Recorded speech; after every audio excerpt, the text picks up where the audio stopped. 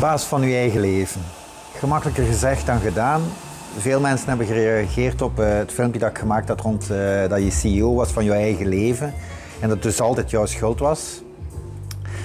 Um, ja, één heb je sowieso de twee strijd tussen van ja, het overkomt mij en dit en dat. Dat is de klassieke strijd. Maar de tweede uitdaging dat veel mensen voor staan is van ja, eigenlijk ja, CEO van je eigen leven. Dat wil dus zeggen wat je met jouw bedrijf, zijnde met jouzelf binnen x aantal jaren zou willen staan. Je zou een evenwicht willen tussen al jouw hè, werk en privé, jouw gezin, jouw vrienden, financieel, goede inkomsten, gezond en fit. Allee. Er speelt van alles in jouw hoofd. En het is dus eigenlijk niet zo evident om dan te zeggen van oké, als ik dan de baas van mijn eigen leven ben en het is mijn eigen verantwoordelijkheid, hoe pak ik dat dan vast? Hoe weet ik, eh, hoe kan ik bijsturen? Wat zijn mijn beslissingen die ik de komende dagen en weken dan moet nemen om eh, mijn leven in handen te nemen? En daarvoor hebben we een e-book ontwikkeld. De tool is niet van onszelf, maar het e-book The Wheel of Life. Ik zal de link onder het filmpje natuurlijk ook delen, zodanig dat je dat zelf kan downloaden. En ik zou zeggen, best downloaden, documenten erbij pakken, zodanig dat je ook kan noteren. Maar wat is eigenlijk het doel van de Wheel of Life? Dat is dat je jou op x aantal punten gaat kalibreren om te beslissen, oké, waar ga ik naartoe in mijn leven? Wat wil ik bereiken? Uh, wat is eigenlijk mijn, mijn, mijn doel? En om te weten waar dat je wil zijn, moet je natuurlijk ook eerst bepalen waar dat je vandaag bent. Hè? Hoe kan je bijsturen als je niet weet wat dat jouw vertrekpunt is? Ook in jouw GPS. Hè? De huidige plaats is eigenlijk jouw GPS zoekt dat. Nu moet je jouw eigen GPS een keer kalibreren en kijken van waar dat je vertrekt. En het eerste dat je doet is dus je huidige situatie in kaart brengen op dit wiel. Voor alle duidelijkheid, in het e-book staat nog volledig uitgelegd. Je schrijft het eerst in letters en je geeft het een waarde en dan pas zet je op het wiel. Waarom eerst neerschrijven? Dat is omdat het feit dat je iets neerschrijft, is voor jouw brein eigenlijk een commitment. Dat is eigenlijk uh, ja, een contract dat je met jezelf aan het opmaken bent, waar je dingen noteert en daar een quotering op gaat zetten. Het tweede belangrijke van schrijven is, je kan niet zo snel schrijven als dat je denkt. Dus iedereen zit wel in zijn hoofd te denken van ja, ik zou dit en ik zou dat en ik zou ginter en ik zou daar. We zijn daar keien in om s'avonds te verzinnen wat we s'morgens gaan doen, om het dan s'morgens niet te doen. Als je dat neerschrijft, moet je synthese maken omdat je zo rap niet kan schrijven. Wat moet je op dat wiel zetten, is eigenlijk eh, acht fronten gaan we beschrijven. Je hebt verschillende opties, maar in ons e-book werken we met acht fronten. Eén, werk en carrière. Zeker voor de snelle denkers, divergente denkers die goed in een job zitten, is dat ene waar ze mogelijk wel energie van krijgen, maar die dan mogelijk ook wel een deel van, uh, van jouw tijd gaat opslokken die je dan niet aan iets anders kunt spenderen. Dus werk en carrière scoren op een schaal van 1 tot 10. Scoor je 1, dan zou ik zeggen, ja, loopbaancoaching is zeker aan de orde. Uh, want dan is het niet goed op het vlak van werk en je spendeert toch veel tijd op je werk. 9 of 10 jaar, dat is de ultieme droom qua carrière. Financiële vrijheid, zelfde oefening. Hoe sterk voel je jou vandaag financieel? Niet in vergelijking met wat andere mensen vinden dat je zou moeten doen. Je zou aan die 30 met pensioen moeten kunnen gaan, volledig financieel onafhankelijk kunnen zijn. Nee, kijk in jouw eigen normen. Uh, waar jij jou goed bij voelt, voel je jou financieel goed, zelfzeker of voel je jou financieel onzeker? Weer 1 tot 10. Zeker in tijden van crisis gaat dat waarschijnlijk wel wat zakken. En is het eigenlijk wel een goed moment om te reflecteren. Oké, wat kan ik zelf hier allemaal in doen? Dus financieel, gezondheid, voor iedereen superbelangrijk. Het zou eigenlijk altijd uw eerste prioriteit moeten zijn. Is altijd degene die gaat afzwakken in vergelijking tot bijvoorbeeld het werk. Het gaat goed op jouw werk, groot project en je smijt je volledig. Het eerste dat je gaat schrappen is gezondheid, familie, zo van die dingen. Want even, nu even dit en dan ga ik tijd vrijmaken. Dus wat scoor je jouw gezondheid, gezond eten, genoeg bewegen, al die dingen. Familie en vrienden. Heb je genoeg quality time met uh, de familie en de vrienden? Ben je er voor, jou, voor jouw kinderen? Uh, maak je tijd voor connectie? Maak je tijd om te luisteren? Alle COVID-eigenschappen komen hier ten volle uh, tevoorschijn. Liefde en romantiek. Heb je genoeg tijd voor, voor, voor jouw partner? Uh, is dat belangrijk? Hoe belangrijk is dat eigenlijk in vergelijking tot andere dingen? Het voorbeeld dat ik hier altijd geef is uh, op een van onze oudercursussen was er een koppel uh, en ik zie het nog altijd op hun Facebook, dus ze doen het nog altijd. Ze plannen min of meer per kwartaal, uh, gezien ze ook een bedrijf hebben, et cetera, druk leven. En het eerste dat ze elk kwartaal inplannen is de date night. Eén keer per maand zeker een date night organiseren. Ze hebben ook vier kinderen, gelijk wij. Uh, date night En dan pas al de rest plannen. En ze plannen ook al effectief een babysit, zodat die date nights quasi 100% zeker kunnen doorgaan. Allee, de wereld moet al half vergaan om die afspraak te schrappen. En dat is dus, hè, op 1 tot 10 kun je wel zeggen, dat staat wel op 10 van investering, tijd in dat aspect. Dus, en wees eerlijk met jezelf, dat kan geen kwaad. En het moet zijn tegenover wat je zelf, hoe belangrijk je het vindt. Hè.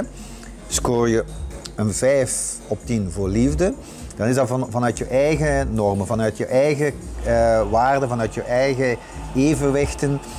Hoe goed voel je jou op een schaal van 1 tot 10 in dat aspect? Persoonlijke groei, investeer je in kennis.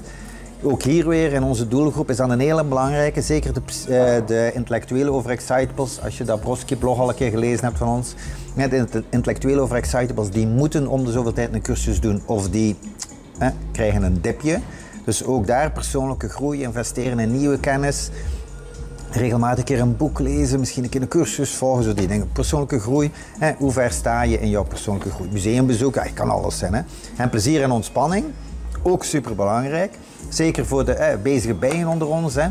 Pak je ook tijd om even te genieten. Om, en dat kunt dat combineren met andere rollen. Hè. Persoonlijke ontspanning, samen zijn met, met jouw familie, dingen samen doen ja, iets doen dat je ook leuk vindt, maar dat niet moet. Voilà, persoonlijke ontspanning. Ah, en maatschappelijke bijdrage, ik was nog één vergeten. Hè, eh, eh, hoeveel tijd reserveer je voor iets eh, te bieden aan de maatschappij? Ook daar weer in verhouding tot wat jij belangrijk vindt. Als je nu kijkt nu naar mijn persoonlijke oefening, altijd maatschappelijke bijdrage. Ik beschouw het stuk Chromi Coach ook een deel onder dat. Dus de kennis die ik deel. Dus uh, nu ben ik in een freelance opdracht fulltime. Chromi Coach zeg ik altijd, is mijn, mijn hobbyberoep. Let, let op, dat is niet minder belangrijk. Maar daar probeer ik die kennis te delen en vooral uh, hoogbehaafde volwassenen en uh, hoogbehaafde ouders, ouders met hoogbehaafde kinderen, onze kennis te delen zodanig dat ze ook beseffen dat ze ook het stuur in handen kunnen nemen, hebben eigenlijk, maar je moet het zelf wel vastpakken en dat er dan tools, middelen zijn om daarmee in gaan. Ja, voilà. Maatschappelijke bijdrage. Om een kort verhaal lang te maken, zoals altijd bij Rudo. Dan heb je, als je dat uitzet, een bepaald wiel uh, waarvoor dat je staat. Dat wiel dat gaat nooit in evenwicht zijn. Bij sommige mensen gaat dat zelf heel extreem in disevenwicht zijn. Zeker, en dat zien we vooral in het COVID-groepstraject soms wel, mensen die echt, allez, snelle denkers, divergente denkers, die heel graag werken en dus zich vol smijten in heel complexe opdrachten. Op dat moment is natuurlijk dat brein zo actief bezig dat dat bijna 100% van hun tijd gaat pakken. Dat geeft ook een kick, dat geeft een rush, dat geeft een adrenalinestoot, maar dat maakt dat de rest van dat wiel gaat beginnen krimpen. En die, dan werken we ook veelal volgens het principe, ja, ik ga nu even volop bussen en daarna ga ik tijd vrijmaken voor die andere elementen. Dus bekijk dat wiel, heel objectief, heel eerlijk, alleen voor jezelf, je hoeft dat zelf met niemand te delen. En dan moet je nadenken van, oké, dat is wat ik ben. Stap 3, en ik blader even door, het is trouwens hè, altijd eerst textueel dat je het moet invullen, en dan het wiel maken. Dan ga je een wiel uitzetten van waar zou ik willen zijn. Tussen hier en zes maanden. Uh, en dan denk je per front na van, oké, tussen hier en zes maanden, in de meest ideale wereld, en voor alle duidelijkheid, zou ik eigenlijk, ja, ik zou eigenlijk, ja, bijvoorbeeld de workaholics onder ons, de carrière staat uh, op 10, maar gezin staat op 2, gezondheid staat op 2, financieel staat ook hoog natuurlijk, want je bent professioneel goed bezig. Ja, ik zou eigenlijk mijn werk op 10 willen houden, maar ik ga voor een 9 gaan, maar ik wil mijn gezin op, op 6 krijgen en ik wil mijn gezondheid ook op 6 krijgen. En de rest is zo wat in evenwicht. Dus ik wil dat wiel wel een beetje gaan bijsturen. En dus iets minder aan mijn werk en dan iets meer aan gezin en gezondheid. En daar komt een hele belangrijke. Want zeker de snelle denkers ons denken dan in grote projecten, absoluut.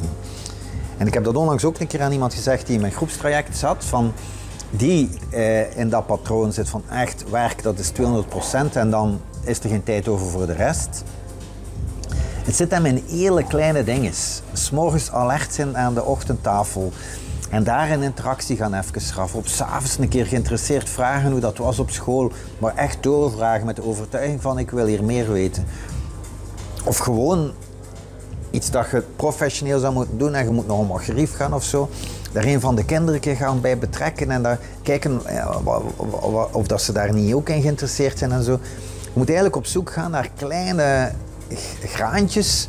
het is beter elke dag vijf minuten aandachtig te zijn uh, voor jouw zoon, jouw dochter, jouw partner. Dan zo twee maanden volle bussen te geven en dan een keer een halve dag te reserveren. En dan 100% aandacht. Wat dan trouwens ook niet gebeurt, want dan is toch net weer een crisis op het werk, et cetera, et cetera, et cetera. Dus het is dat. Het tweede dat daar heel belangrijk in is, is die authenticiteit. Uh, als je dat eerlijk benoemt en je gaat samen op zoek naar van, kon ik, ik voel me eigenlijk niet goed bij, maar ik doe mijn werk super graag, maar ik wil ook eh, aandacht hebben voor jou. Hoe kunnen we dan zorgen, samen kijken van, hoe zouden we hier toch kunnen zorgen, want ik, ik, ik wil ook die aandacht geven en ik, ik ben wel geïnteresseerd en ik wil die connectie maken. En door dat te benoemen en daar samen dan een keer over na te denken, zouden we wel een keer verrast kunnen zijn van wat je eventueel wel een keer samen zou kunnen doen. Dus vandaar. En dan, die oefening doe de ja, zoveel keer als dat je wilt natuurlijk, maar ik doe die toch gemiddeld om de drie à zes maanden. Hangt een beetje vanaf, als je voelt dat er, dat het een en het ander wringt, ja, doe die oefening dan een keer. En kalibreert je wiel een beetje, want van plaats te wachten totdat je in extreme zit en dan te proberen bijsturen, is het veel gemakkelijker van op regelmatige tijd te evalueren van, ja, is dat evenwicht hier nog?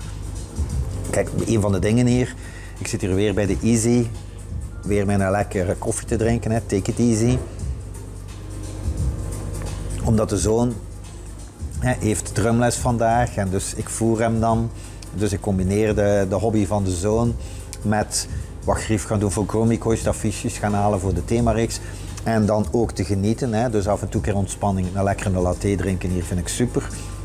En dan combineer je dat ook nog een keer met kennis te delen, wat eigenlijk mijn maatschappelijke bijdrage een beetje is. Dus je moet in die termen denken, dus je moet niet alles sequentieel zien van ik ben of bezig met mijn gezin, of bezig met werk, of bezig met.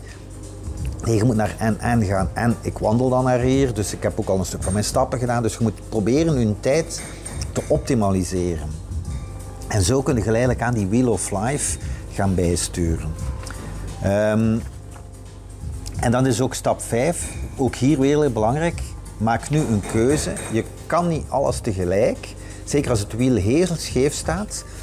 Schrijf uw keuzes ook effectief op. Ik ga me als eerste concentreren op. Als ik maar tijd heb voor één ding op te lossen, wat is het belangrijkste? Waar wil ik nu echt elke dag, elke morgen op focussen? Hang dat ook op de frigo? Hangt dat op de spiegel in de badkamer? Hangt dat ergens waar je elke dag aan herinnerd wordt van...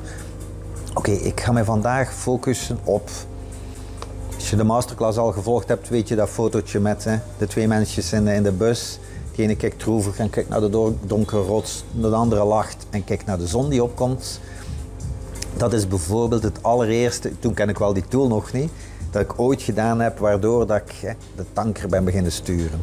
Uh, en het zijn die kleine wijzigingen die eigenlijk maken dat je hè, aan hè, moved en dan zo een ander doel gaat bereiken. En door dat continu te blijven kalibreren, gaat, komt totaal andere plaatsen uit. Voilà. Dus eerst mij op, ik ga me daarop concentreren omdat First to Why, Simon Sinek, grote fan van die jongen.